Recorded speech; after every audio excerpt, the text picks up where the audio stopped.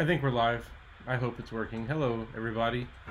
Uh, if somebody could comment in the chat and let us know if this is working, then we will get started. Sorry for the delay. Uh, YouTube would not let us join the, uh, the, the webinar that we had scheduled. I tried everything uh, trying to get it to work, so hopefully uh, y'all are able to kind of automatically find us over on this live stream. So I'm gonna wait confirmation from Carrie that this is actually working before I do anything else. I see you Um, now, but we still have a lot of people over on the other side that are. Okay, can you hear me? Is that working? Yep. Cool. Awesome. So we're gonna hang out just for a little bit and give everybody some time to make it over to this live stream from the other one. Thank you everyone for your patience. Sorry about this. Uh, we tried to be good by scheduling it, and then that ended up making it harder for us. So, um, Well, we got it figured out now, though. So we're sort of. yeah, it's kind of working. Let me adjust a few things here.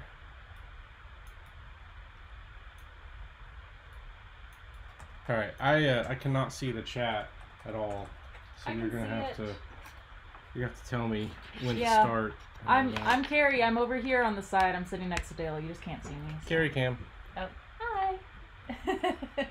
so I have it pulled up over here. So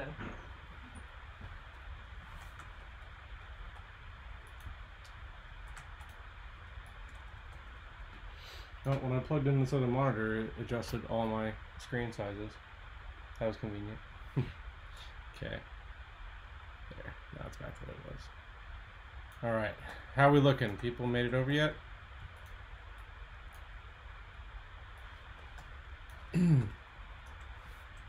Alright, so I'm to go ahead and start. Um, so, hey everyone, my name is Dale Spoonmore.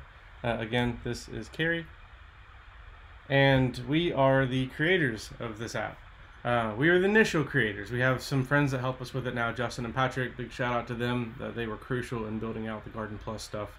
But um, but this is you know it's just us. We're not some big company. We're not uh, out trying to make money off of this necessarily. This is just a passion project for us. So if you uh, if you haven't met us yet, hey, uh, I'm Dale, and um, so anyway, we're going to talk about how to start growing food, and and to start off, I want to show our garden and kind of talk about why we started growing food. So this tab that we have here, this Who We Are tab here, um, has uh, this is our family here. So we have, we have four kids. We, we're in Oklahoma City, and this is our garden here. So when we first started growing food, um, if you go to our website at seedtospoon.net, you can see a, a bigger picture of this. But this was our yard when we first started, and we started growing food really um, number one because we were trying to get our health in order.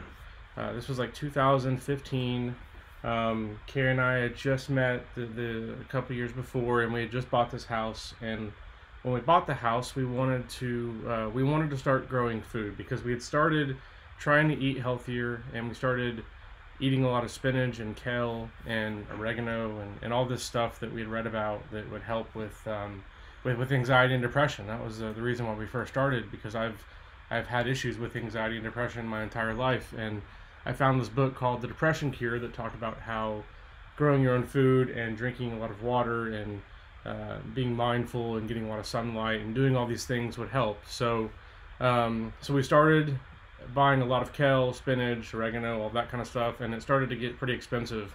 And that was where the idea started for us, where um, you know, we we decided we wanted to try a garden. So we started with square foot gardening, and I'm gonna let me jump to a section of the app to show you what that is.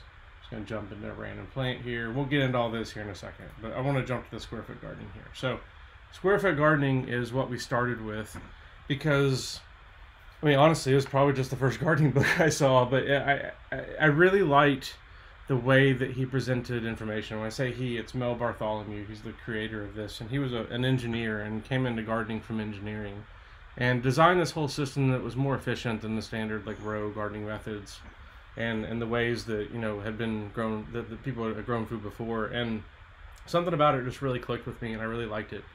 So. The square foot gardening method is what we started with, and I'm going to jump back over to uh, to here to show our garden again. And so we had a couple of, of, of little like raised beds, you know, and um, and we and we started off small that that first year, and, and then it kind of oh okay, okay, and then it kind of quickly took over, and, and now this is this is basically what our yard looks like now. So um, so yeah, so we're we're gonna talk all about how to do this with your yard, or to do something smaller, like on a patio or or something like that. Uh, but just how to start growing food in general, because we built this app after uh, doing this and going through like you know master gardener courses and uh, reading countless number of books and, and taking online courses and just doing everything we could trying to learn how to grow food uh, i get obsessed with things uh, i'm on the spectrum and this is kind of my, my thing i just love to research things and uh, so gardening has been my thing for the past five years now that i've been obsessively researching and everything that we've learned has gone into this app so uh, if, you're, if you're not familiar with our app already, this is the From Seed to Spoon app. You can find it on iOS or on Android. We also have a web app. That's what I'm showing right now. So this is actually app.seedtospoon.net that works from any device, like a Kindle or something like that, uh, that doesn't have the, the App Store, or just from your, your laptop or, or wherever. So um, we have over a hundred different plants in this app. That um, and each each plant that you tap on is going to walk you through everything you need to know about how to grow it. So we're going to go in detail on plants, but I kind of just want to walk through kind of at a high level, um, kind of what you do to get started. So we're going to use this app to drive this presentation basically, and everything that I'm going to show you is is is in this app, and you can go back to it and get to it. So we're going to start with this articles tab down here in the bottom right, and this getting started tab. And also, I want to mention if you have questions, um, throw them in the chat. Carrie is going to be uh, helping out with questions. We have a lot of blog posts that cover a lot of these different things, and she'll be sending links to, to that and, and all that kind of stuff. So, this Getting Started tab is meant for anybody that is new to growing food, is just starting out. So, this, this blog post here, this How to Start Growing Your Own Food in Four Easy Steps, is a really good uh, introduction to how to start. So, I'm kind of scroll through here, and I'm going to use this to kind of uh, guide kind of the first steps. So, if you if you want to start growing food and you have a yard already, um, and it's a Bermuda grass yard, then you could just dig that Bermuda grass up and plant in its place. But it is a pain in the butt because Bermuda grass is very difficult to get rid of. If you cut it, then it basically makes two new plants from where you cut it, and it's just it's very difficult. So what we decided from from early on was to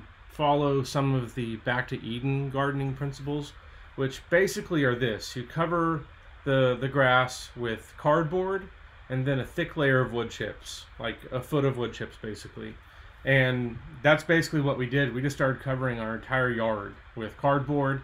One thing i want to mention there is the bigger the cardboard box the easier it's going to be. If you just put a bunch of amazon boxes down and then a big windstorm comes up or something then it's a pretty frustrating experience. So try and find like big boxes. If you're not sure where to find something like that, I don't know where you'd find something like that right now with everything going on, but before we would go to like uh, any kind of small local place that dealt with really big equipment. So like air conditioner repair. I, I, I can't even think right now. It was Harley Davidson store for a while, but they stopped. Um, but just try and think of a place that gets really big boxes in, and it makes it a lot easier. And basically, we just went through and covered our entire yard with cardboard and then wood chips we get for free. So if you are in Oklahoma, then you can go to the down in Norman, the the Cleveland County. Um, uh, what's it called? The Cleveland County Extension? No, not the extension office. It's just the compost facility. If you Google compost facility, you'll be able to find it. So you go down there, and they have a giant pile of wood chips that are it's created from all the trees that arborists and just landscaping companies bring in and then drop off there, and they run them through a giant chipper and they have a specific pile that is really nice generally like the they you know that works really well for mulch and we go down there and get a truckload of wood chips i mean when we were starting out i was going down twice a week and getting a truckload of wood chips basically and we were just hauling them from the back of the truck to the garden and then dumping them on top of the cardboard and what's happened now is wherever we had the cardboard and the wood chips it's all decomposed now and we have incredible soil there now. So we're able to plant directly in that area. And then uh, we're doing that with like perennial stuff like trees and bushes and herbs and things like that. But when we started back then, we built raised beds on top of them, and our raised beds basically look like this right here. And um, and there, it's a, it's a real simple construction. You just cut some, you know, cut some wood and, and, and make a box out of it. Um, the one thing that we've run into with these is they fall apart in a hurry. It seems so. Um, a couple of ours have, have completely fallen apart on us.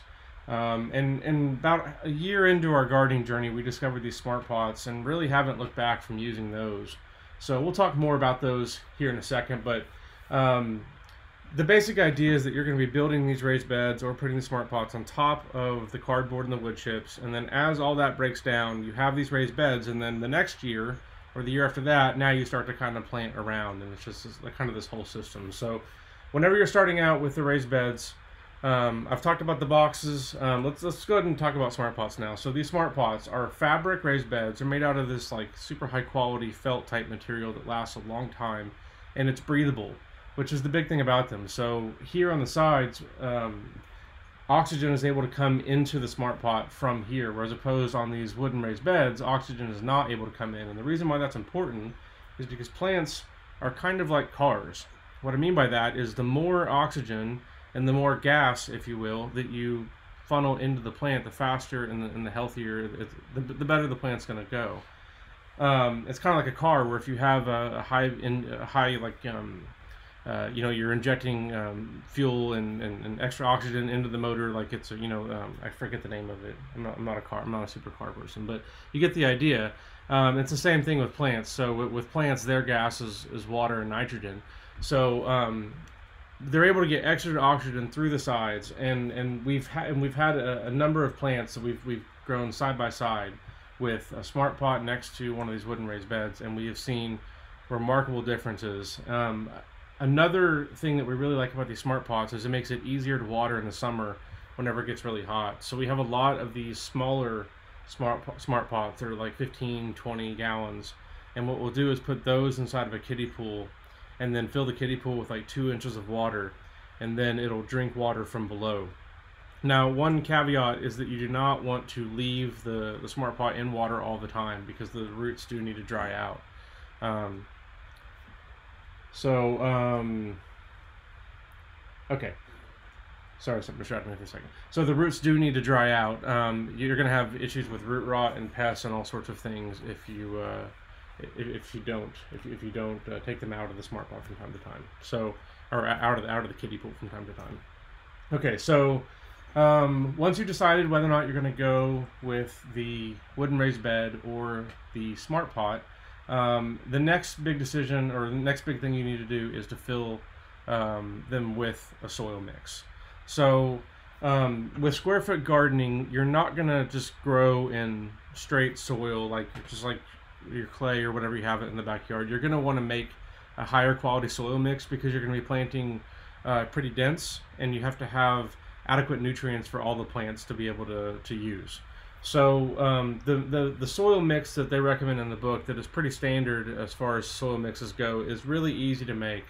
And you basically just mix together these three ingredients. So the first ingredient is peat moss. You can also substitute coconut coir instead. We've had good success with that. Um, it's more sustainable. Coconut coir is. Peat moss is a is not a renewable resource, so we, we, we try to get away from using that. But um, if you're having a hard time finding coconut coir right now, then it, it's okay to use peat moss instead. Um, we get this uh, the peat moss in bags from like Home Depot or something like that for about twelve dollars a bag. The vermiculite, um, this is a coarse rock that is heated until it explodes and basically makes like a popcorn type structure and it absorbs water really really well and that's the key benefit of it. It helps regulate moisture in the soil. And then uh, so the, the vermiculite we get that at uh, nurseries primarily. So uh, if you're in Oklahoma City I think TLC has the cheapest price last time I saw about $30 a bag for uh, for a big bag. Make sure you do not buy this at a, uh, a big box store because the, the cheapest prices on these are going to be at a nursery in bulk. Uh, the cheap, uh, the smallest bag you want to get is the is the four cubic foot because it's just really not worth it to buy the smaller bags. Um, and then the next ingredient and the most important ingredient is compost. So, compost is the main thing that your plants eat. That's their primary food source. And for that reason, it's best to have a variety of compost sources that you mix together. So think about this for a second. Like if you uh, if you were to eat the exact same thing every single day, you're probably going to end up sick because you're missing some sort of nutrient because you can't get all the nutrients from eating the same thing. Well, it's kind of the same way with plants where um, your compost source for the plants needs to come from a variety of places. So I mean things like vegetable sources where you're making compost just from your vegetable scraps, uh, worm castings. We have a worm farm that our four-year-old loves to manage. Uh, I think we have a video or something that talks mm-hmm. about worm farming. Um, we have a compost bin outside that we make uh, compost from. Uh, we have a composting guide that goes into detail on all this, so we'll post this down that down in the chat. Um, but really, like when you're starting out, it takes a while to make compost, and you want to get started now. So I recommend buying compost in bulk. If you're in Oklahoma City, then I recommend Minick Materials. Uh, I'm not paid by them or anything like that. I just I've tried all the different places around here, and I really like what they have, and they have a lot of variety as well. They have a vegetable compost. They have a manure-based compost. They have more of a hybrid compost. They also have a compost that comes from the zoo, from like elephants and stuff like that. So um, typically, what we do is we go and just get like a third of a scoop or a fourth of a scoop of each of the composts that they have, and just have them dump a little bit in the back of my truck. And then when we unload, we just kind of mix it. So basically, what you do is you mix all of this stuff together. We've got a video here that shows kind of a, a hack on a way that you can mix it together easily. These compost tumblers here, um, you can find them at like I, I see them at like Sam's Club and Walmart and places like that all the time and they're terrible for making compost, but they're great for mixing soil. So uh, we always seem to find them on Facebook Marketplace or Craigslist or something like that pretty cheap because people find out they don't really, really work that well for compost and then get rid of them. But they're great for mixing soil. So you just dump in a bucket of each one of these and then start mixing it around and then dump it. And that's basically all there is to it. You can also mix it on a tarp. Um, that's not too bad. Or if you're filling a smart pot, it's easy enough just to dump a bucket of each ingredient directly into the smart pot and then just mix. Um, especially if you've got four kids like I do, they are very good at mixing all this. I do want to mention that the vermiculite, though, you do not want the kids to be messing with that if it's dry in any way, shape, or form. You want to get it completely saturated with water and all mixed in before the kids are, are dealing with that because it can kind of come up in the air and get in their lungs and stuff like that. So I didn't want to mention that on the vermiculite. Typically, we're having the kids mix like uh, the coconut coir and the compost together and um, and that kind of stuff. Um, okay, so uh, store bought soil mix. You can buy soil mix from the store. You're going to spend a lot of money though. Um, I don't really recommend doing that. Uh, I, it's uh, you now what has come along recently, especially in Oklahoma I think for obvious reasons, is you can buy a uh, soil mix, high quality soil mix in bulk now. Um, pretty much every place that sells soil sells like this stuff in bulk now. So um, i think Minick does too. I know Minick does too. Um, they gave us some to try last year and it was good stuff. So um, that might be an option to save some money. Um, depending on what state you're in, just call like your local bulk, bulk soil or nursery center, you know, place like that. Um, okay, so now the last step, once you have it, your raised bed or, or whatever you want to grow in filled, is to figure out what you want to grow. And this is where our app comes back into play. So um, on this getting started tab, we have more articles here, you know, that go uh, into more stuff. I'm gonna I'm gonna get away from this and come back over into plants now, and show how our app makes it easy to know what you want to grow. So I mentioned earlier that whenever we started growing food, it was because we wanted to find uh, ways that we could help with anxiety and depression naturally without taking medication. So uh, Carrie is a nurse, and um, she started studying and, and looking up, you know, the different plants that we could add into our diet to help. And that's basically where the idea for this feature come from, comes from.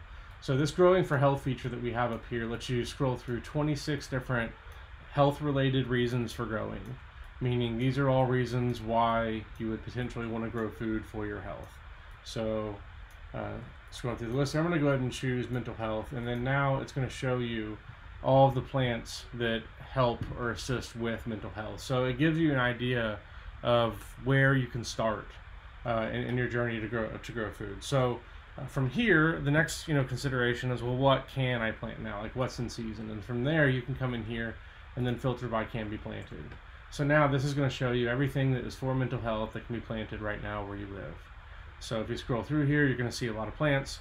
Now, you're going to see plants on here that, uh, like avocado. Avocado you can grow in Oklahoma, but there's considerations you have to make. You have to move it indoors in the winter. So if you tap on avocado, you're going to read that here. And then down here, you're going to see that frost tolerance is it only tolerates a light frost. So anything below that, you've got to bring it indoors.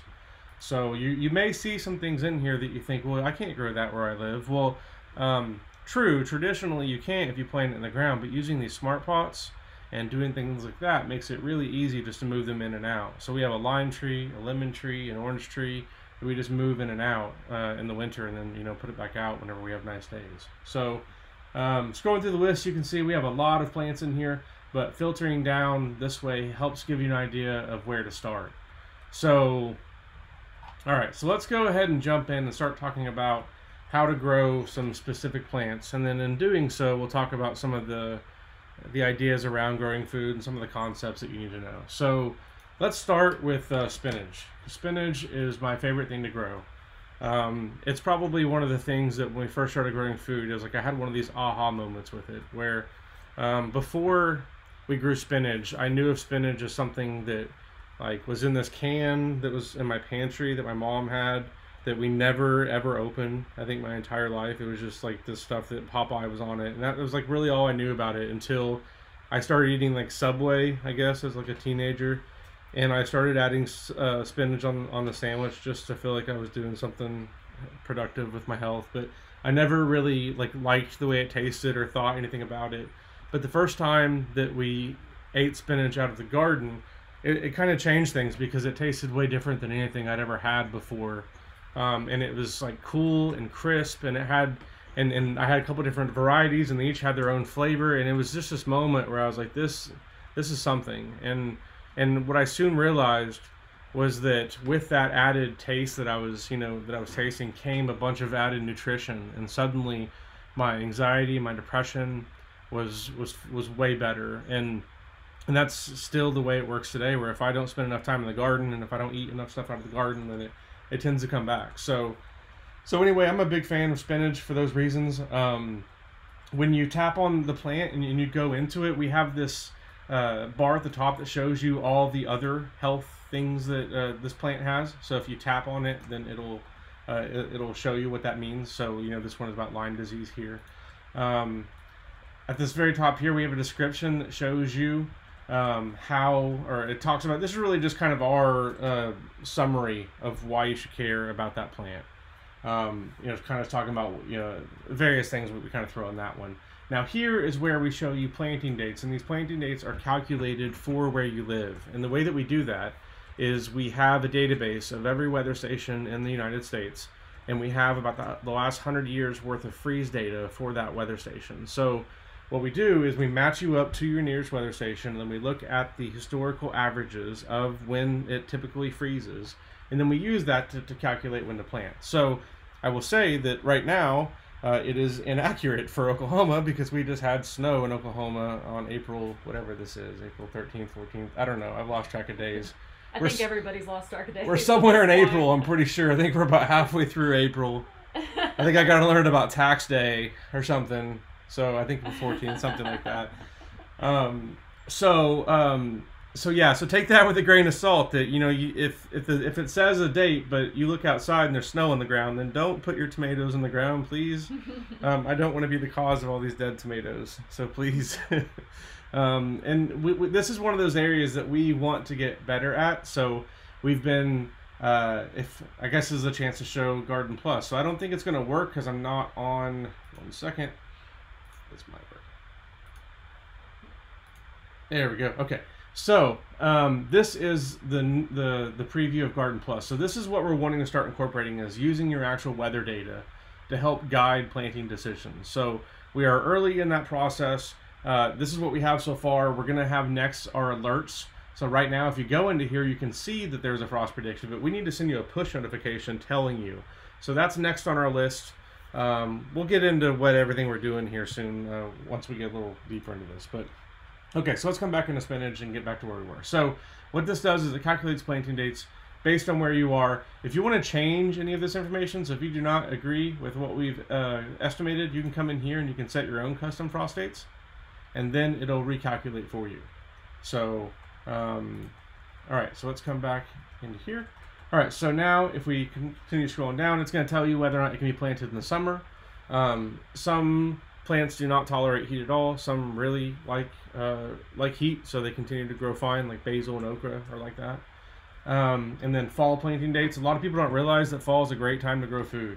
Um, in Oklahoma, it's a better time to grow food than spring because there's not near as many pests. Uh, the the weather is more temperate, um, and really it doesn't get that cold here until like December. Sometimes we'll get a freak storm in November, but um, we had tomatoes on Thanksgiving a couple years ago. So um, here we have all the information or more information about that plant. So we have the growing season, which is cool. If you tap on this little question mark on the card, it'll come up and give you more information about it, and then it'll link to a blog post that has even more information about it. So um, when you start getting into growing food, you're going to see that you've kind of got three different categories of plants. You got plants that like to grow in the, in the cool weather. You've got plants that like to grow in warm weather, and then you've got plants that come back year after year. They're called perennial. So that's what we have here in the growing season. You'll see cool, warm, or perennial. Um, for frost tolerance, um, this is what that plant can tolerate as far as cold is concerned. So survives hard freeze. Uh, spinach can, can tolerate freezes uh, very cold. So what I mean by that is we plant our spinach typically in the in the fall, in October and November, and then it overwinters and then comes back really strong in the spring and does great. Kale is the same way. Kale comes from Russia, so it laughs at our winters in Oklahoma and doesn't care about them. Uh, it just goes dormant there for like a month or two and then comes back strong and you get a ton of leaves from it. So that's what frost tolerance is. Uh, every plant's gonna be different on that. Um, you'll see some that say you know only tolerates a light frost and have the temperature that it can handle there. So number per square, uh, we've talked about this a little bit with square foot gardening, but let's kind of dive in a little bit more now. So number per square refers to how many seeds of that plant or transplants of that plant can be planted per square. And what I mean by square is square foot gardening took the idea of taking like a 32 square foot raised bed and dividing that into 32 equal squares. And then each square is planted independently of the square next to it. And you think of it as its own little mini garden, if you will.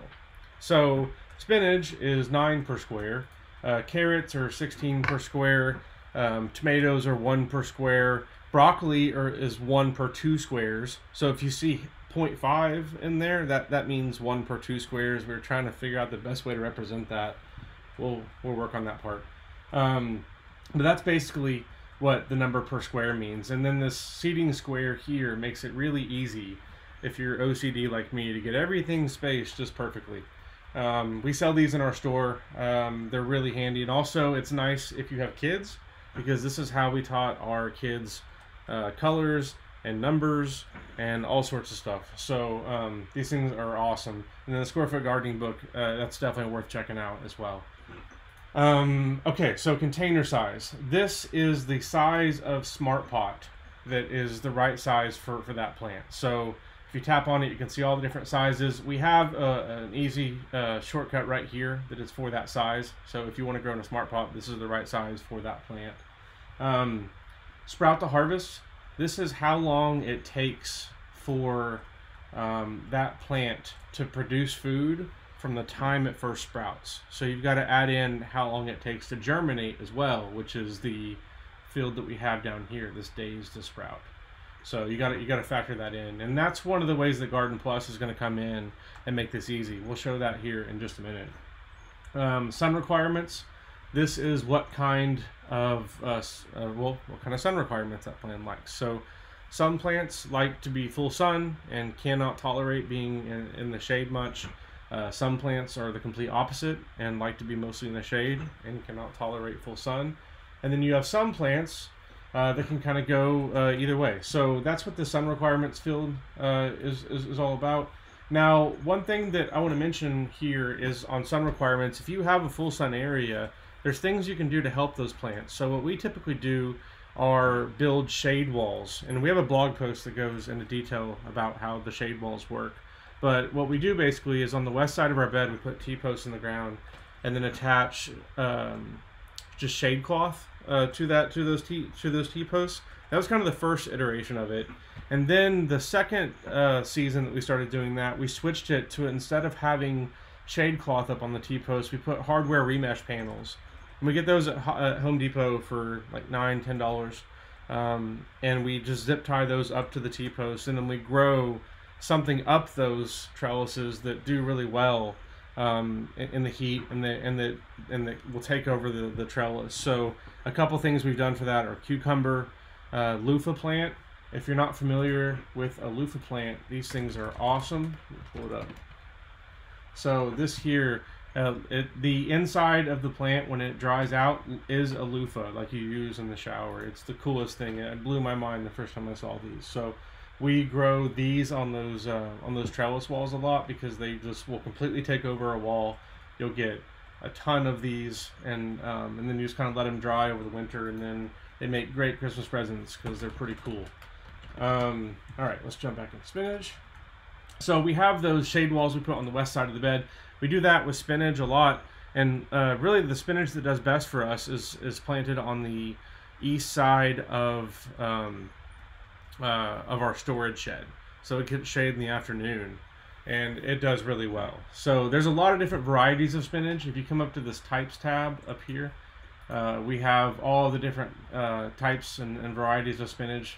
Uh, we have an integration with Burpee, one of the largest seed companies in the country, to pull in their database of all the varieties they have, and then you can go through and see how many days maturity and then a little description for each one. So this is a nice way to kind of go and see uh, what all you know what all types of spinach are out there, and then and you kind of know where to go from. All right, so let's go back over to details and um, water requirements. So every plant is different when it comes to water as well. So lettuce, spinach, kale, they like getting a lot of water. These leafy greens, they, they go through a lot of water. Whereas something like uh, oregano or thyme comes from the desert and it does not like to get a lot of water. So it, you can actually kill it if you give it too much water. So every plant is different, and that's what this water requirement section is for here. Um, fertilizing, just like um, you know, watering and sunlight, every plant is different when it comes to how much fertilizer it needs. So um, we have uh, a couple of different categories in here. You have some plants that like to get a lot of nitrogen. Uh, nitrogen is the main food source for plants. It's what produces the, the green stuff on the plant.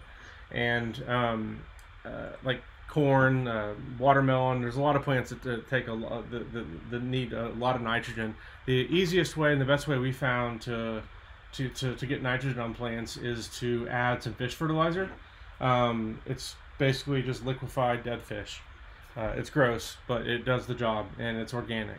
Uh, we have an organic fertilizer in our store as well, so we just added this.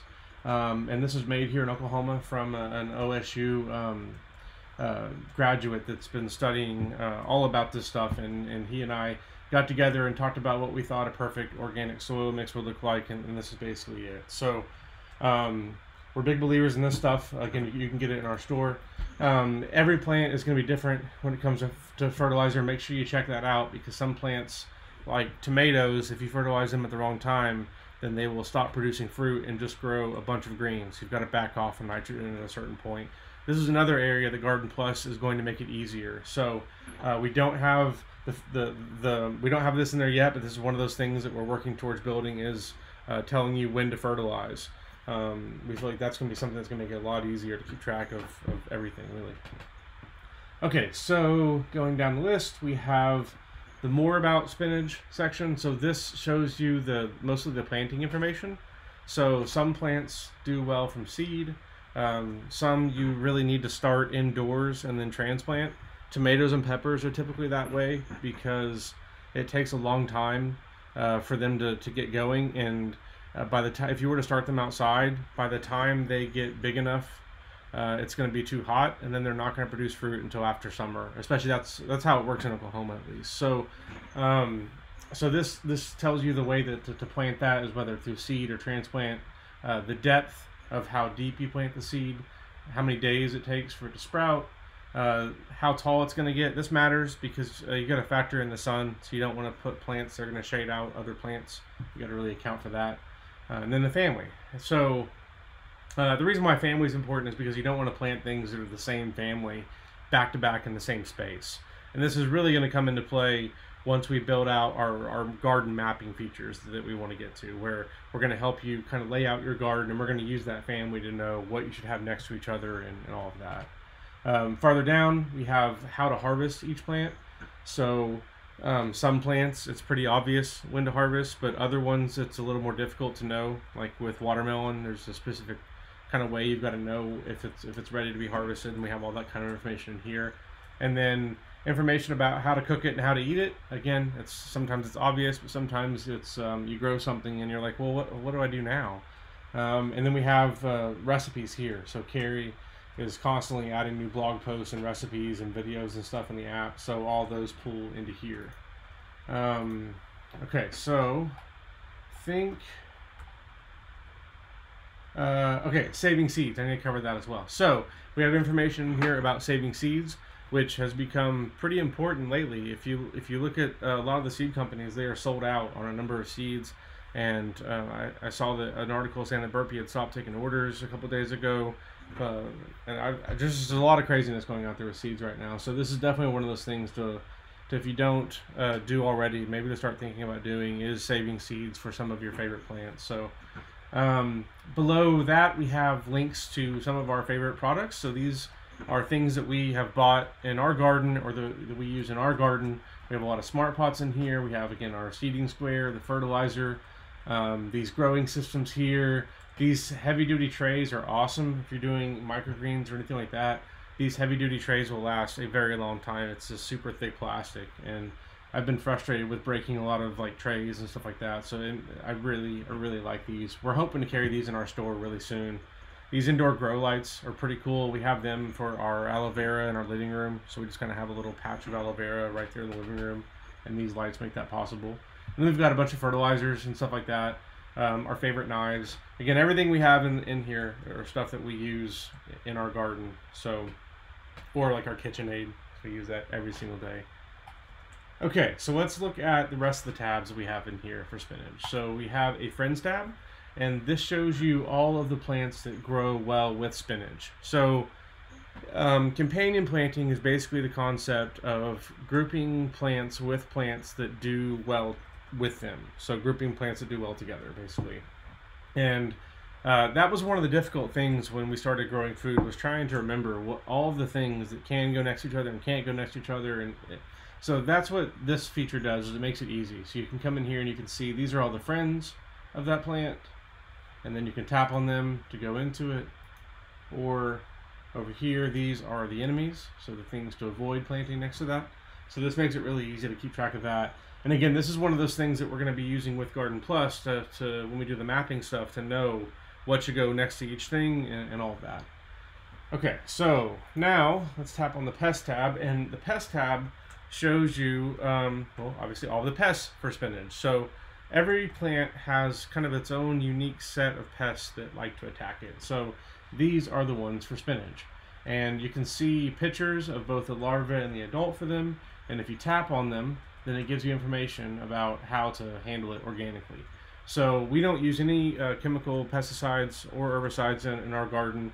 We like to use nature um, as it's intended, basically. So what I mean by that is with aphids, our first year we bought a lot of ladybugs on Amazon and then released them. And then they went through and ate the aphids. And then what we've learned to do over time is to encourage ladybugs to be here. So we grow the kind of things they like to be around. We um, we make sure that we don't just you know we, we don't first of all we don't spray any any, chem, any chemical pesticides down so they don't you know we're not killing them um, and and we're, we're making an environment they want to be around so we have water we have things like that around for them um, it also shows you which plants attack uh, or which plants are attacked by that pest because typically if that pest is on one of your plants then there's a high likelihood that it's going to be on one of your other plants so you can see which ones to go check on that and then we have uh, blog posts and all the stuff like that that is uh, about that specific pest. So um, there's a whole lot of, of stuff that, of really cool ways that you can manage pests from uh, whether it's aphids with ladybugs or with uh, cabbage moths, just insect netting, you know, makes a big difference. Or this BT, which is a uh, it's an organic treatment. It's a it's a bacteria that they've uh, harvested that they uh, use put in water, and then it, when caterpillars eat it, it kills them. Again, it's harmless for humans. This is an organic treatment. Um, for rabbits, you can use motion activated sprinklers. There's just all these different ways that you can you can handle pests in your garden without having to spray chemicals down. Um, if you go to the more tab for that plant, it will show you uh, articles that are related to that plant, and then uh, recipes for how to grow. I mean, how to eat with that plant. I think we've already talked about that, and then videos. So these videos pull from our YouTube channel, and anything related to spinach that we've we've posted comes into here. So we've got all sorts of stuff, whether it's Carrie and I at a home and garden show talking about it, or us out in the garden with the kids planting, or just we never know what our videos are going to be. It's just random, whatever we decide to make that day, basically. So, I just threw a lot of words out there. Um, Carrie, are there any questions that I need to go over that have come up? There have been a lot of questions, but I think I'm I'm staying on top of it as much as I can. Um, so here's a really good one that Okay. we've been talking about is how to start growing food from without having seeds and maybe just having grocery store access. So what are some foods? We talked about potatoes. Yeah, great, great question. All right, so let's talk about things you could grow right now without having access to seeds, just from sourcing from the grocery store. So potatoes already, that's great. So some potatoes have been sprayed to keep them from sprouting. So try and buy organic on all the things we're talking about. Try and find organic um, because those are not going to be sprayed with this stuff, and that will really matter on potatoes.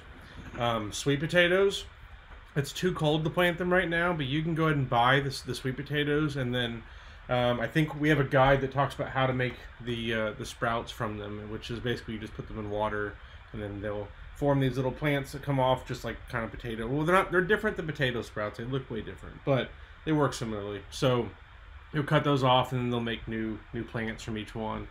Um, garlic is another thing. It's too late in the year really for garlic, but you could trick it. What I mean by that is garlic likes to go through a freeze cycle.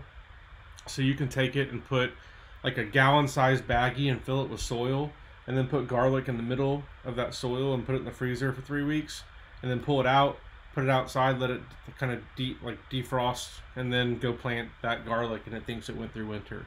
So you could do that with garlic. Um, if you are buying from like a lot of the natural grocers type places carry a lot of bulk supply of beans so we've bought southern peas from there before um, pretty much any of the bulk organic beans should grow some sort of a bean um, and the cool thing about beans that blew my mind when i first started growing them let's go to beans and let's start talking about beans a little bit we're going to jump around and not really go in order of what the seasons are uh, we've got so many people in different places. I think it'd be hard for me to try and cover that. I'm just going to talk about specific plants. So, beans are awesome. Um, the thing that blew my mind about beans was that the difference between like the dried beans that you buy from the store, like pinto beans and things like that, and a green bean is the age of the bean. Dry beans are just old green beans. Blew my mind. I think it's common sense to a lot of people, but that was just wow. So anyway, um, if you buy bulk dried beans, and I'm not talking about like bulk ones from Sam's Club or wherever, because a lot of those may have been some sprayed or whatever. Like, there's no telling. I'm talking about the ones that come from like bulk supply of like the big like things you can kind of you know pour out yourself from like natural grocers or something like that. Um, so I think any of those would be a great thing to start with. Maybe corn the same way. If you were able to find, uh, do they sell corn like that? Corn feed, yeah, because that's what like chickens and stuff eat. They have corn mixed in, so I think you could probably find corn that same way. Um, so let's talk about some plants you may not want to do that with. So if you bought like a jalapeno from the store and there were seeds inside of that, you could try growing with it, but there's no telling what you're going to get because a lot of those, um, you know, tomatoes and jalapenos are, are hybrid varieties, which means that the seed that they produce is not always true to what the to the parents that made them. So you might get a jalapeno that has extreme heat or that has no heat. You just you really don't know what you're going to get on it. Now it's still better than nothing. So you know if we're in a crisis situation, which obviously we are, or if we're in a situation where you can't get food, then go for it. Um, celery is kind of the same thing. You can kind of replant it and it'll grow some cute little leaves, but you're not gonna you're not gonna feed anyone off of off of regrown celery. I don't think. Um, potatoes are really that's the big one. I mean, potatoes got the Irish through that, so I I think they've been around for a long time, helping us get through uh, disasters. So um, potatoes are probably the number one food I would go to right now, and that's what we did in our garden. We planted a ton of potatoes um, in like these big smart pots, the 10, well, from 5, 10, 15, 20. We did all the way up to 25. We're doing an experiment to see how well they do in each size. And we're moving next week, so it makes it easy for us just to move all those with us. And then we wanted to have a bunch of food on hand because you never know what's going to happen. And um, so, so yeah, I think potatoes are a great choice. Um, what else are we, are we forgetting? It might be avocado. Yeah, it's going to take you a while though.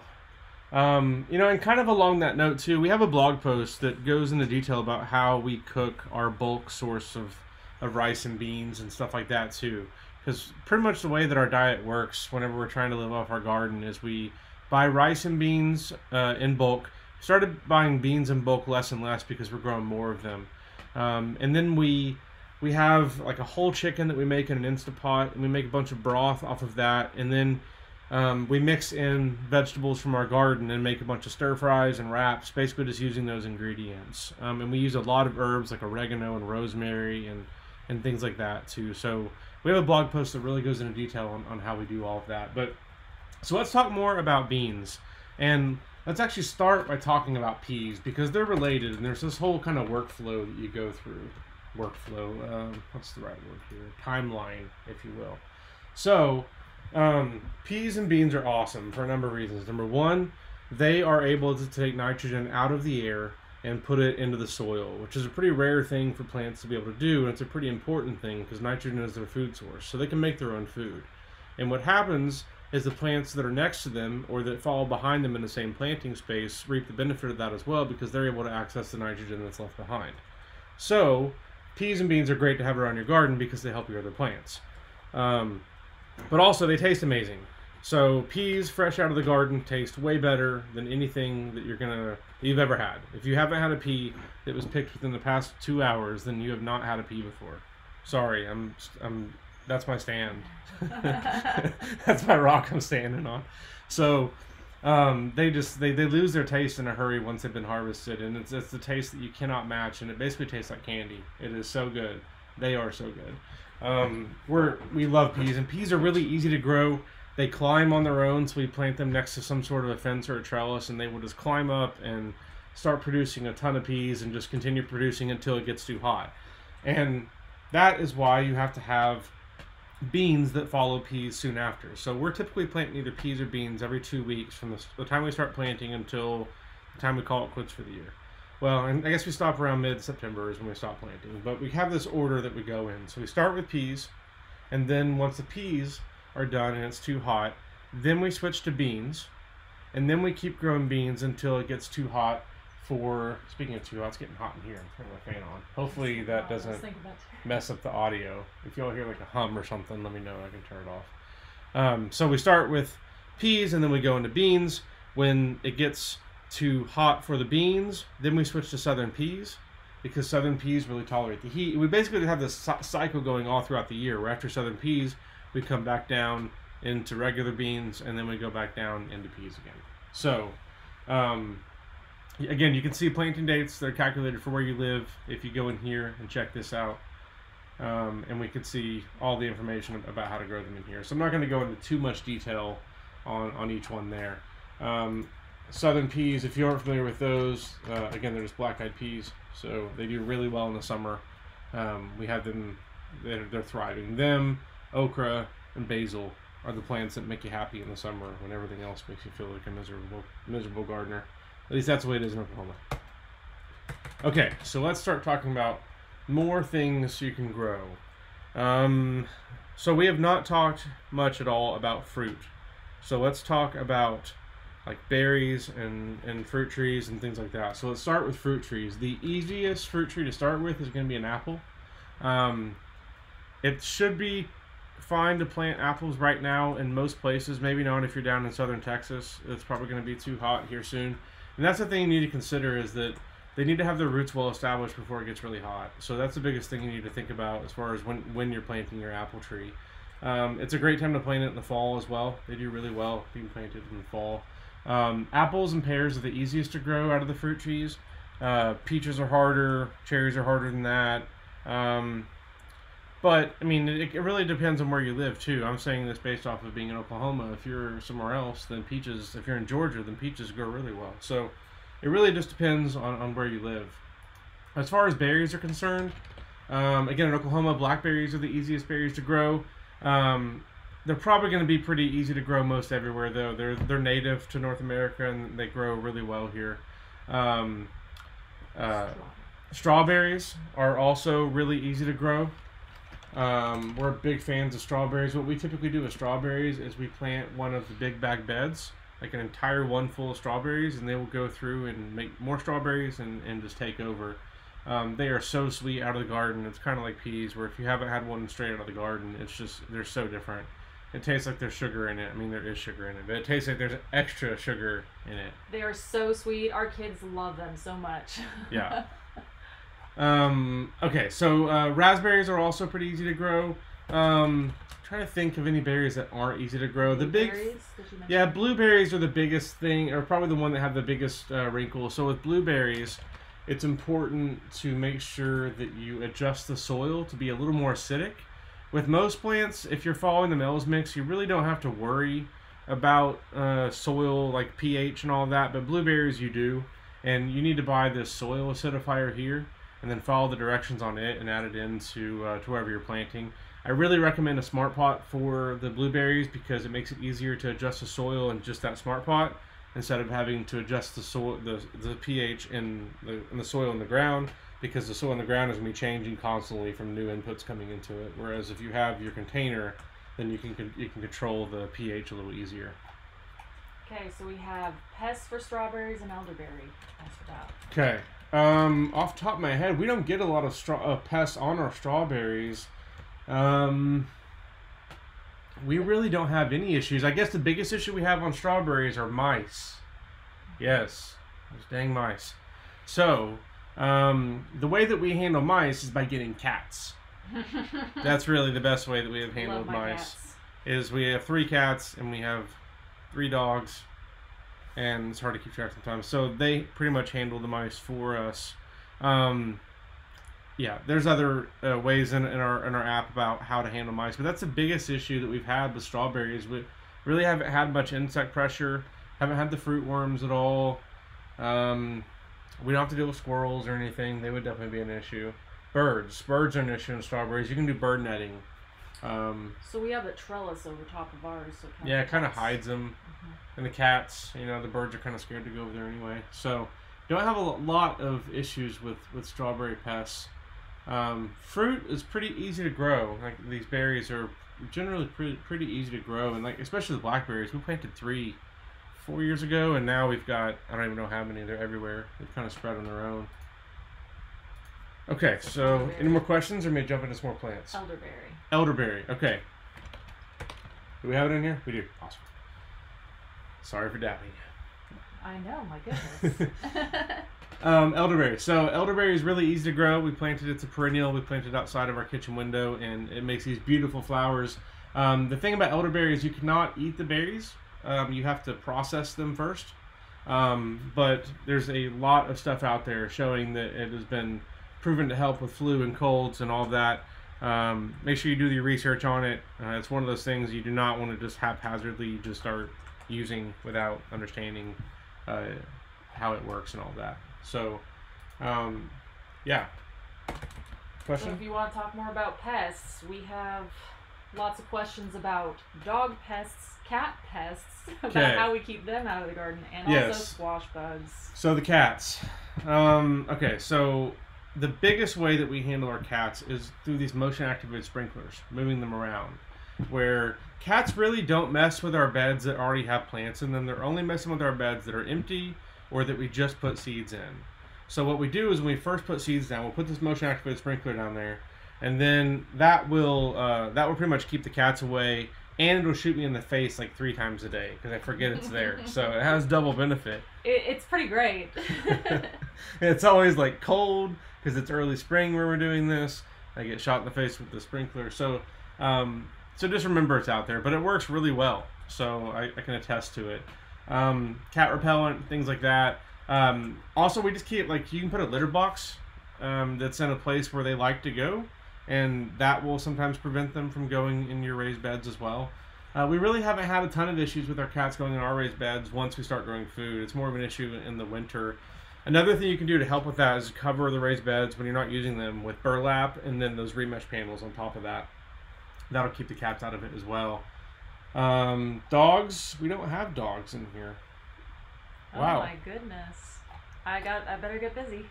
I don't know. So dogs, we built a fence to keep our dogs out. Um, we have tried every like garlic, pepper, onion spray repellent. We've made them. We've done all of that kind of stuff, and our dogs just think it's flavoring. Really, uh, it doesn't really keep them out. So we built a fence and keep them out that way, and we gave them a sand pit to play in, and that generally keeps them out too. So. Don't have a lot of great answers on dogs and cats. What other pests have they asked about? Squash bugs. Squash bugs. Okay, squash bugs are the most difficult pest to control in your garden. So, the thing about squash bugs, it's all about early detection and getting them squashed I like Uh, before um, before they get established. So you've got to look for these eggs that are under the leaves, and as soon as you see them, um, I hire my children to start keeping patrol, and I pay them a quarter for every squash bug that they find, and that generally keeps them away until we go on vacation in the summer. When we come back, and then and then the squash bugs have taken over. So. Um, even if you did try and spray pesticide down, it's typically not going to really affect squash bugs because they've got this hard exoskeleton and it's difficult to an adult squash bug especially to kill them. We have used diatomaceous earth around the base of squash plants. Um, we're gonna uh, we, we we got some new stuff too. Some uh, what's it called? Frog repellent. Remember that stuff? Can you Oh. give me that bag down there, please? I'll, I'll show what I got. So we, my mom called me the other day because she saw this on Shark Tank, and she wanted me to try this uh, first Saturday lime. So it's like it's it's. I've been reading into it. It's all organic. It seems to be very close to diatomaceous earth, except it doesn't cake up when it rains. So we are uh, excited to try that out. It's made here in Oklahoma, so that's one of the main reasons why I wanted to try it. And um, I read up on it, and it seemed like it was good stuff. So we're gonna try that around the base of squash plants as well. Um, netting too. You can put insect netting over your squash plants until they start to produce fruit or flowers. Once you get the first female flower, um, you can know because there's a little like baby looking fruit at the base of the flower. Um, that's one of the females. Whenever you get one of those, then you have to take the netting off. Um, another thing you can do to really help with squash bugs is to grow your squash vertically. So whenever you grow it to where it's down on the ground, it um, it's really easy for the squash bugs to hide underneath of the leaves and to do all that. Um, whereas when you grow them vertically, like you attach it to a T-post and kind of tie it as it goes up, then it's easier for both you or your kids or uh, a bird to see the squash bugs and, and to help you out with it. So those are the best tips we have for how to handle squash bugs. Um, if you know of anything else, I feel like we've got to have some innovation in the squash bug department. I feel like something has got to, we've got to figure something well, out. Well, we try to give them to our to the Nellies. We do. We feed our spiders. So we have a bunch of orb weaver. So if you go to the beneficials, you can see um, helpful things in your garden. These orb weavers. Uh oh. Our son just came in here screaming that there's a bird in the house. It's always an in the house. I'll be right back. it's always an adventure in here. There's a bird in the house, apparently. Apparently the birds heard us talking about them and have come in to attack. Okay. I don't know if I need to go help them or what. I don't hear any chaos. I'm guessing one of the cats. So this is the problem with the cats, is sometimes they'll bring in a bird or a mouse or all sorts of treats for us. So let's keep talking about spiders. So we have a bunch of pet spiders, if you will, out in the garden. They're orb weavers and we will feed them like our squash bugs we capture. But you know, there's a bunch of uh, of beneficial insects you can have in your garden to help with all this too. So praying mantises, um, you know, lizards aren't insects, but they're beneficial. There's a lot of beneficial things you can have in your garden. And in this tab, it'll go through and uh, you can see how to encourage how to encourage them in your garden. And some of these can be beneficial or can be pests. Like ants can be considered really both because they do help your garden, but they can be a pest. So when you tap on here, then you can you can kind of see. Um, let me go over to the pest and tap on. So you can see you know the different ways you can handle with them, or if you go to beneficials, it'll show you why they're why they're helpful. Sorry, I'm so distracted by this bird situation. I just I gotta know what's going on. I'm not hearing any chaos. So I think I think we're okay. But I'm very distracted. Okay, so let's jump back and talk about I'm gonna start talking about some more plants. I cannot see your, your questions or anything right now because I don't have the chat. Um, Carrie was, was manning the chat and it's, it's over here. So I'm gonna keep going through and just talking about some plants. So let's talk about peppers.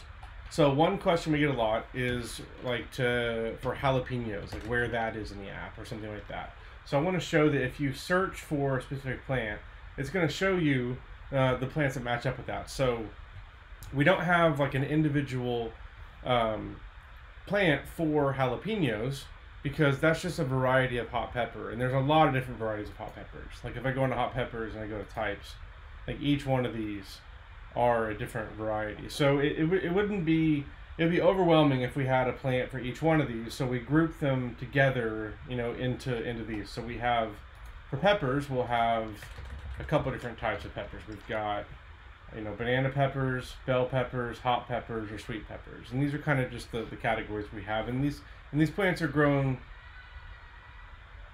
very similarly. You're crying. Sorry. Like I said, we have four kids. It's chaos around here.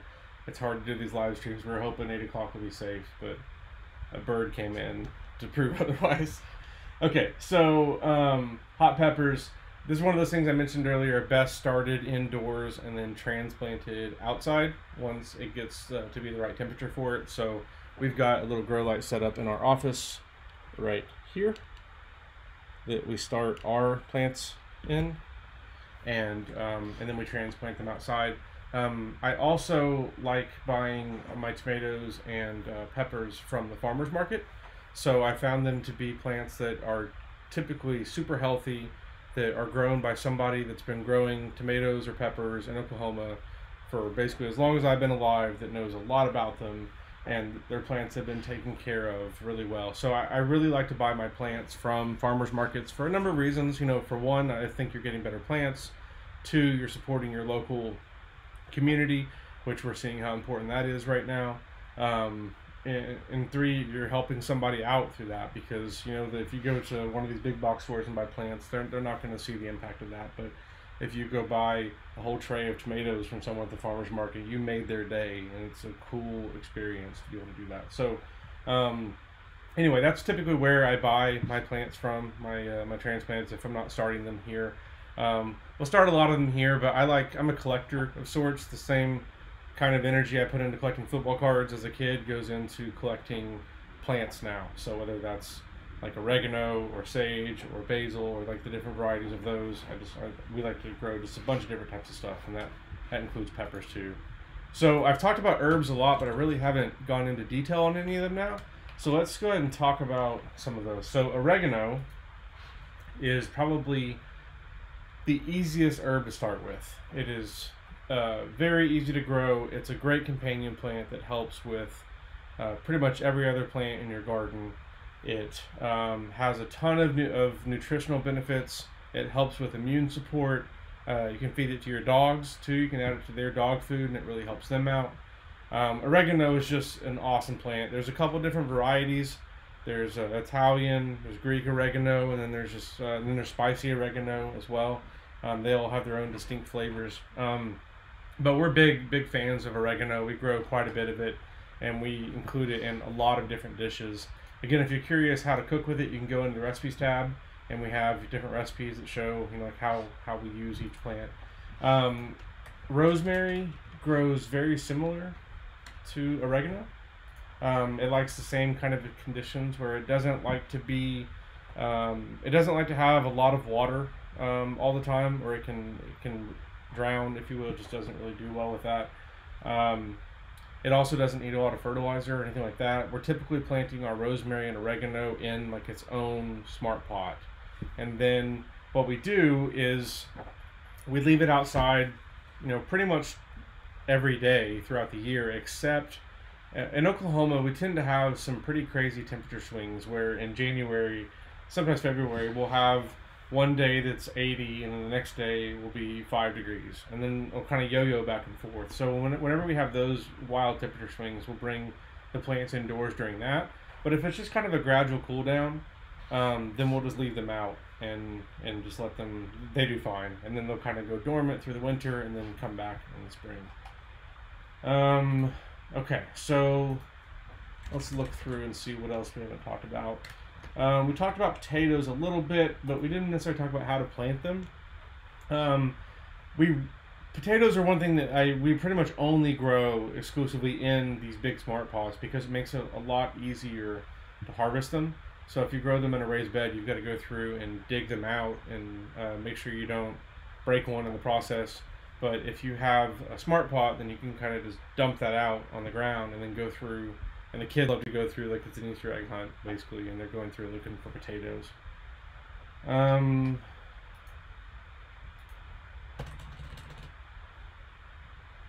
Okay, let me see what else we should talk about. I think I've gone over the time we said we were gonna go, but that's all right. I certainly don't have anywhere to go. Um, broccoli. We haven't talked about broccoli yet. Let's talk about that. So, and we haven't talked about Garden Plus, so we'll go back and talk about that in a second too. So broccoli, whenever we first started growing food, my idea of broccoli was that it was, you know, what I'd seen from the grocery store. So like a big tree-looking head, and that was what I had to grow. But the thing about broccoli is that there are a lot of varieties that grow a bunch of small side shoots instead that look kind of like that. And we much prefer to to grow these instead because for a couple reasons. One, look at the dates of maturity. It's like 50 to 60 days for these, and you start getting broccoli. Whereas some of these other ones, it can take you know like here's 100. I don't think that's the right date on that, but there's some of these are like 90 days for, for some of these broccoli plants, and um, so so anyway, we, I really like growing the sprouting broccolis because you can eat the entire broccoli plant. The entire thing is edible. Um, let's also talk about cabbage because cabbage is another one of those things where uh, it grows. You plant it around the same time as as broccoli. Um, we've switched away from growing like big cabbage heads, and now we do more of like the bok choy and the leaf cabbage. Uh, for a for a similar reason why we do um, the, the broccoli with sprouting varieties. That way we get a bunch of leaves instead of just you know one big head that we harvest. Okay, so we've talked about a lot of plants. I think there's a lot more I, I could cover. I'm sure we'll be doing more of these live streams. Uh, I want to go ahead and talk about Garden Plus though, and talk about what we just released. So uh, we've been working on this for a year and a half. Um, if, you, if you don't know, or if you just joined, so uh, my wife and I started this app. Um, we have a couple friends that help us with this, but this is a, a side project for us. We we all have full time jobs. Um, three of us are software developers full time, and then uh, Carrie teaches nursing at, at OU um, full time as well. So um, we've been building this kind of uh, nights, weekends. Uh, it's been a long, hard road, and we're very excited to, to, to have this out. So, um, Garden Plus is now out in a free preview. And let me go through and show you uh, what you can do with it. So, if you come in here and set up a test account, so I'm going to set up a test account.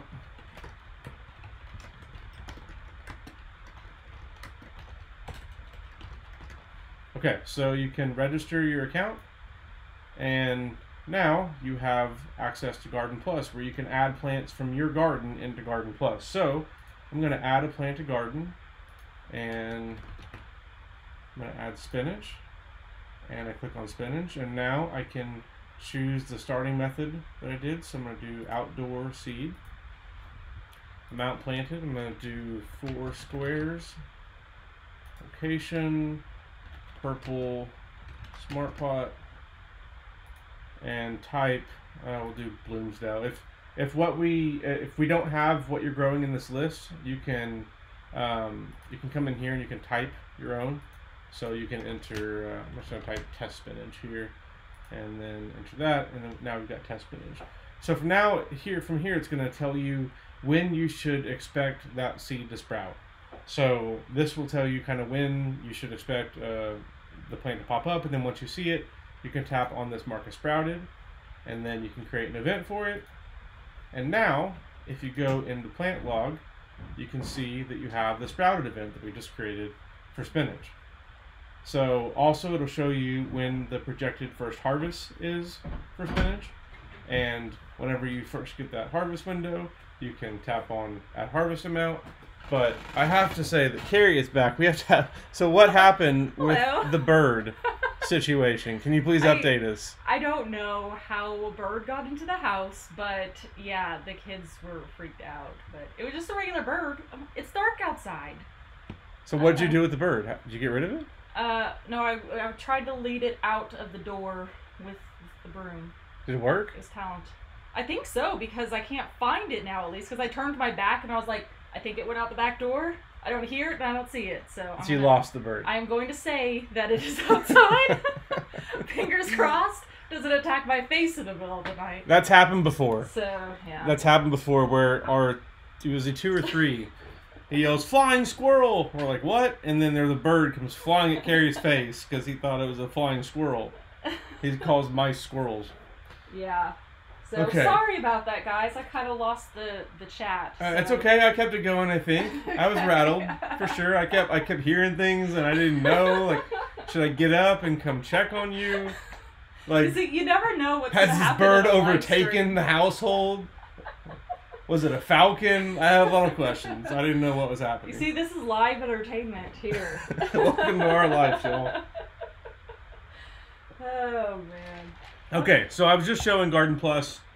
We just showed uh, adding a sprouted, a sprouted event. Are there questions that I need to come back and answer?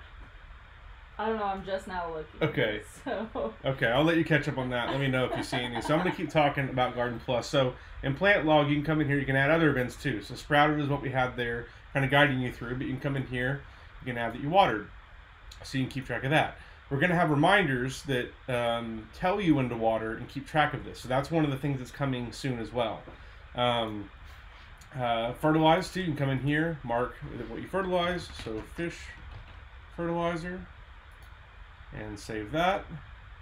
And you can come in here if there's a pest, and you can log what pest it was that you saw. So you get the idea. You can keep track of everything that happens with your garden plant right here. And then in plant notes, you can come in here, you can enter notes. And you can add a photo. It's not picture of me. and there you go. And then once you take a photo, it'll change that image for that plant to the photo you took. So if I come back into my plant list now, I can see spinach, which is me. Maybe I don't want it to be me. I want it to be spinach. So now I can switch it back there in this change plant picture that I used there. So let's go back into Garden Plus, into the spinach plant and look at it. Um, you can also tap on the growing guide from here. So if you want to learn more about growing spinach from within here, you can tap on this growing guide. Takes you into there.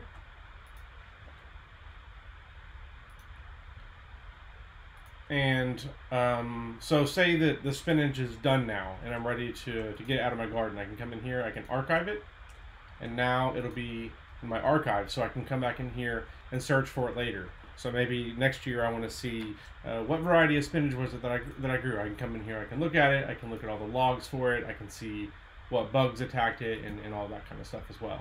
And then also there's garden notes for your overall garden. You can come in here and you can enter garden notes. So uh, again, this is going to be in a free preview. Um, we don't know how long it's going to be a free preview for. Our initial plan before everything um, flipped upside down in the world was to make it free for April, but we're gonna we're gonna leave it free until it feels right not to not to do that, and I'm not sure when that's going to be. Um, we've had people ask how much it's going to be. Again, we're, we're not 100% sure on that either. Uh, it's definitely going to be less than a packet of seeds per month. That is the standard that we are going to stay at for sure. Now, where that is under there, I'm not sure. I mean, um, like I said, right now we this is like a thing that we do at nights and weekends in order to build the kind of things we want to build, the, the mapping features, the push notifications, all this big infrastructure that we're getting into now, we need to be able to hire people to work on this full time. Um, I mean, just the support messages alone, we get, I don't even know how many emails a day. And I'm not complaining. I, we appreciate the emails. We really do. It is a lot, though. It's hundreds of emails a day. And right now, it is Carrie and I, um, and Justin and Patrick handling handling you know every email. So we, we, we've got to get to the point where we can start, you know, hiring people to help out. We've had people that have volunteered to help us, and I think we're going to start letting people help us. You know, thank you to, to people that have, that have offered, but we would like to be able to pay people for their time and to and to make something out of this that you know that is sustainable because. Um, right now, we are happy to spend our nights and weekends working on this. We feel like it is our mission and our purpose. Um, and we'd like to be able to do this long term sustainably. And um, so anyway, if you'd like to support us, um, you can shop from our store. Uh, if you clack, if you clack, if you quack, if you click, It's getting late. if you click on this icon up here, it'll show you all the different products we have. You can support us by shopping from our store. If we don't have an item in our store, you can buy it on Amazon, and it will uh, a, per, a, a portion of that from our link will, will go to us. And then once Garden Plus is out, then um, sign up for for a premium account. We'll, um, and, and that'll obviously help us as well. Um, yeah, so I, hopefully that answers a number of the questions we've gotten about Garden Plus and all of that. Um, again, this is not like we're not doing this to make money. This is not why we started from Seed to Spoon. We started this because we wanted to make it easy for other people to grow food like we had learned how to do. And it started as a YouTube channel, and then as a blog, and then we learned how to code, and then we built this app, and now here we are live streaming to the internet about about growing food at 9:22 on a Tuesday, which was not our plan five years ago at all. But here we are, and we're thankful to be here. So, um, okay, what have I not talked about? Um, I'm going to show a couple other things in the app. In this videos tab, you can see all of our YouTube videos. So if you want to see more from our garden, come in here and okay, there we go. And you can see all of my failed live streams that I tried to do. it didn't work. Uh, okay, but if you scroll down more, you can see you know videos we've made about how to use the app. You know videos directly from our garden, um, interviews with friends that want to start growing food, uh, videos of, of us out, um, videos of bunnies. There's all sorts of random stuff we've got on our YouTube. If you come over here, you can see our popular videos, um, the ones people have watched the most, um, and articles. Again, we've got our Getting Started tab, and we've got our most recent articles in here. Carrie has new stuff coming out every other day, pretty much, about how to do all different, all different types of things. We, um, podcast episodes are on, all that kind of thing is, is in here. Um, so, I have talked a lot. Um, I know there's more plants I can cover. I'm happy to go into those. Looking around to see if there's anything else I should cover. Are there any other questions that have come up that you've seen? Okay.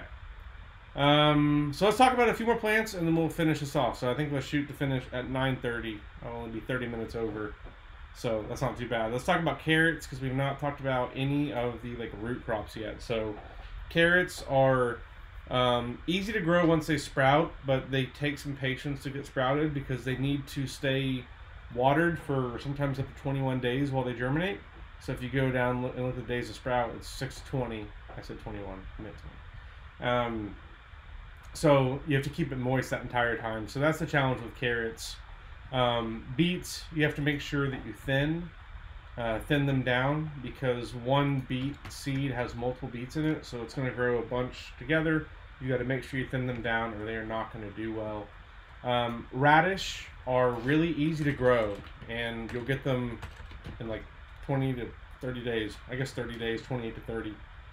Um, we don't love the way they taste, but they're great to they're they're great starter plant because you're gonna have success, and those key early victories are important when growing food because it gives you confidence. Okay, let me, let me look through and see if there's anything else that I should cover. I think we've talked about enough. I haven't really talked about watermelon and cantaloupe, um, cucumber. Those are all similarly grown as well. We got a cucumber tip on that.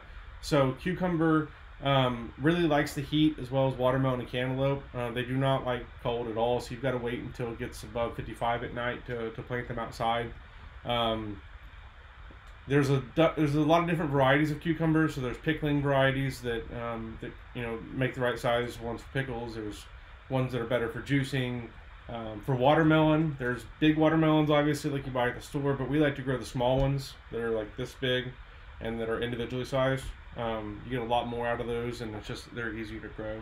Okay, you, do you have a question? Yeah, this I thought this was a good one. So, what vegetables are good to grow for school gardens, um, elementary school? Great question. So, elementary school garden. So, I would do radish because again, they're like 30 days and kids have short attention spans and they're going to see it growing in a hurry. So I think radish would be a good would be a good thing to do from seed. It'll also teach them how seeds work. Um, I would also do lettuce from a transplant um, because it's going to grow fast and they're going to see new leaves coming up. So I, I think lettuce from a transplant would be a good option as well. I would do a pea or a bean because um, it's really easy to see kind of what's going on with that seed as it grows with a pea or a bean and it has very distinct features and i think it's a, it's a great way for kids to kind of experience um, seeds. Um, i would probably do an herb as well because I, I think it's super important to get introduced to herbs at an early age because they have a bunch of medicinal benefits and um, and i think once you acquire that taste for it early on it can help out. So i think something like uh, maybe a basil and then um, basil or maybe oregano. Chives i think would be great for kids too because they have a very mild onion flavor. We haven't talked about chives. Let's talk about those real fast. So chives are um, very similar to onions so the difference between chives and onions onions are you grow them for the bulbs so that's the main reason why you're growing onions chives you're growing them for the tops and chives are perennial and come back year after year so Chives are also awesome because they make these uh, these flowers, and the flowers are edible, and kids are fascinated about being able to eat a flower, and they taste really good. So I think that's a good mix of stuff to start for a school car a school garden with kids. Um, if you have room outside, and if you're in the right climate for it, okra is very easy to grow. So I think it's one of those things that might be good to grow too, and it and it it's big. Kind of with that in mind too, there's a 12 foot tall sunflower called a Russian mammoth kids are fascinated by that. I'm fascinated by it because it's a giant sunflower. Those are cool. Um, yeah, I think those are some good things to start with with an elementary garden. With any other questions? Um, yes. What's best to plant in raised gardens, smart pots, and also onions? So what's best to plant in a smart pot? You can plant anything in a smart pot. I mean, we haven't had anything that has not done well in a smart pot. Now some do better in different types of smart pots. So the big bag beds that are wide and only like a foot tall, maybe like 16 inches, 18 inches tall, those are great for potatoes and onions and things like that that um, or, or other plants that don't require like a ton of root depth. Whereas like the the taller 20 gallon smart pots are better for like tomatoes and peppers. So it really just depends. And again, if you tap on the plant, then it'll give you the right size smart pot for uh, for that plant. But really, there isn't anything we, we've grown that hasn't done well in a smart pot. I guess maybe, no. You may have to trellis something a little bit more than it, than if it was in the ground, just because of the whole height difference and it falling over. But I really can't think of anything. Any other questions? We're at nine twenty nine, so. Um, just about onions. in Onions. general.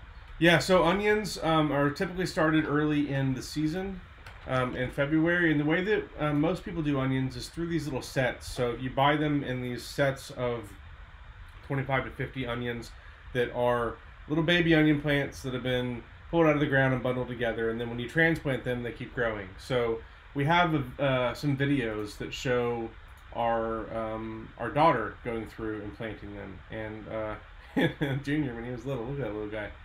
Um, so you know, it's this is one of those things that's really great for kids to plant too. Uh, our kids are typically the ones going through and planting our onions because I don't have the patience to make a little hole and put them in every two inches. I just I get I don't like it, but they do. They love it. So, um, one thing to consider on onions is go to your local nursery to buy them because it matters where you live with onions. What I mean by that is your latitude.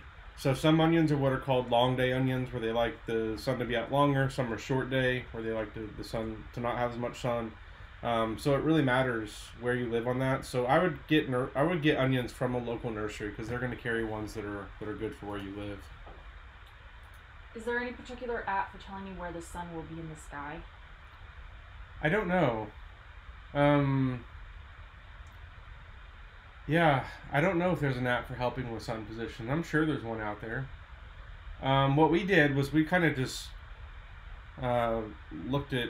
We just went out and took pictures every month or so There was that sunlight area. calculator that we got too from Yeah. Amazon. Yeah, we bought a sunlight calculator on Amazon, but I think it wasn't waterproof or something ridiculous. So then it rained and it got ruined, or eh, we didn't have great success with that. Um, yeah, I'm sorry, I don't have a great recommendation on that. And then just to wrap it up, I did answer this in the chat, but a lot of people probably have this question. So with the free Garden Plus, if they put all their garden info in, Yes, yes, So everything you enter in Garden Plus is yours forever. You're going to be able to access that. Um, any plant you enter, you're going to be able to access. Whenever it becomes a paid version, you just won't be able to add new plants into your garden. But everything you've entered is yours. I would not do that to you. That'd be evil. Or not going to be mean. Um, so yeah, hopefully that answers answers that question.